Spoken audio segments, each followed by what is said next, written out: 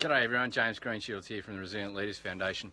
I've been uh, working with a couple of guys at the moment who talk about hard work. You ask them what they're passionate about and they say hard work, and I can totally understand that. That's a natural thing for uh, particularly men to, uh, to really resonate with. My point is they don't want to, to work hard. That doesn't make any sense to a lot of people.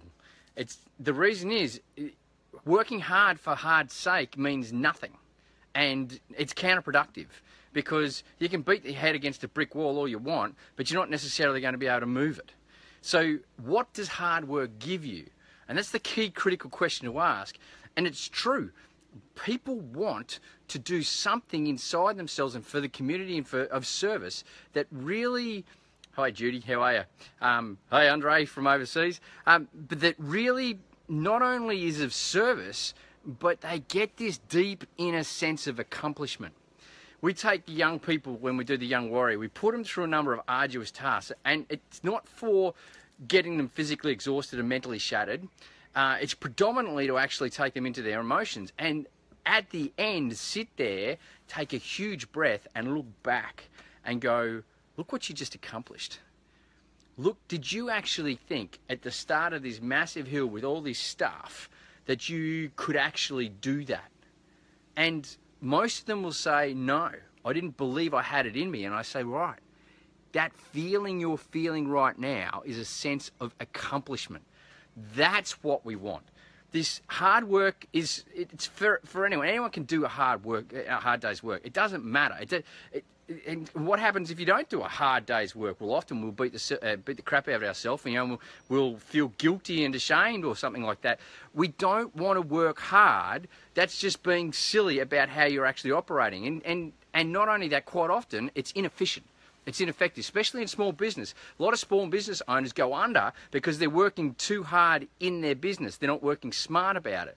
Sit back and look at your business, sit back and look at your life, sit back and look at your jobs, your, your relationships, and get a sense of accomplishment, particularly in your personal relationships. Like Kirsten and I, before I went to Iraq, we were on the rocks. You know, we were only cohabitating, um, we weren't emotionally connected at all, and then I deployed to a war zone Yep, almost die, cool, come back, shattered bloke inside, uh, not knowing how to be a father. One of the biggest things that I have done over the course of my relationship with Kirsty is look at her and realize what where I've come from and where I am now and I constantly get a sense of massive gratitude for myself for having the courage to go in, face the demons, and transcend the demons so that I can be the person that I am now and connect in a way that I'm currently connecting with not only Kirsty but the girls. And that gives me that sense of accomplishment, which spurs me on to the next thing to take myself to the next level. Remember, you sit and feel that accomplishment, you'll get a deep sense of wanting to actually go on and achieve more. Trust that's been of benefit. Remember, you don't want to work hard, anyone can do that. You want to work smart and you want to realize why you're working, and that is because you want a sense of accomplishment.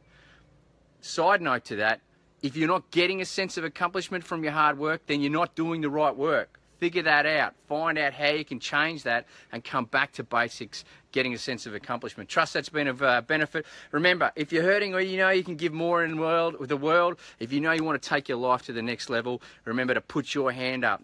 Two more events coming in uh, in a couple of weeks. One to the Sunshine Coast. It's beautifully sponsored by Maroochydore RSL, and one to my hometown. I've been invited back to uh, to run a Put Your Hand Up event, the town of Seymour in Central Victoria. Much love to you all. G'day, Big Ray. You're a legend, and I'll see you soon. Cheers.